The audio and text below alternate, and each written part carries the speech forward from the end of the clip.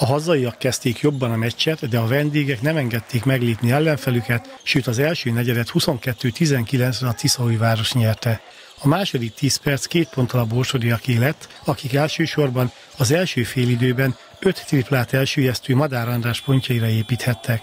A harmadik negyedben 8 perc alatt mindössze 4 pontot dobott a Nyíregyháza, akkor úgy tűnt, hogy eldőlt a mérkőzés. A folytatásban azonban egy 17 0 szakaszt produkáltak a kék cápák, akik a vezetést is átvették. A Tiszaújváros azonban újítani tudott, és végül 8 pontos győzelmet aratott a sokat hibázó házigazda ellen.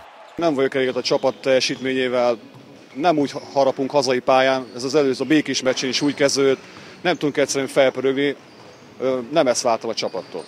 A hazaiak csapatkapitánya szerint a vendégek akarata érvényesült a mérkőzés nagyobbik részében, és ez vezetett a nyíregyháziak vereségéhez. Rendkívül csalódott vagyok, mert így veszítettük el a mérkőzést. Én úgy gondolom, hogy bele szürkültünk a Tiszaújvárosnak a játékába, illetve elkövettük azokat a hibákat, amiket ki akartak ők kényszeríteni a letámadó zónájukkal. Volt egy, egy holdpontunk, azt hiszem 4-5 percig nem dobtunk kosarat, ez Semmiféleképpen. Tehát ez nem megengedhető.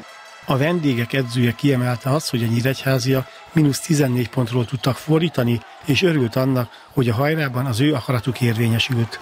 Szépen felszívták magukat, azt kell mondjam az utolsó negyedben, és amit azt, azt gondoltunk, hogy maga biztosan tudunk hozni a, a játékunkkal, itt egy kicsit az a támadó játékunk szétesett. Vagyis hát azt kell mondanom, hogy az ittszereket hagytuk ki, tehát mondhatjuk azt, hogy a Nyíregyháza hibákra készített, és akkor utána ők ezt megbosszulták talán fizikálisan én azt mondom, hogy a végén jobban bírtunk, és talán jobban koncentráltunk a végén fejben. Három forduló után két csapat, a Hódmezővásárhely és a Budapesti Honvéd 100%-os az NB1B keleti csoportjában. A Nyíregyháza egy győzelemmel és két vereséggel a nyolcadik helyen áll.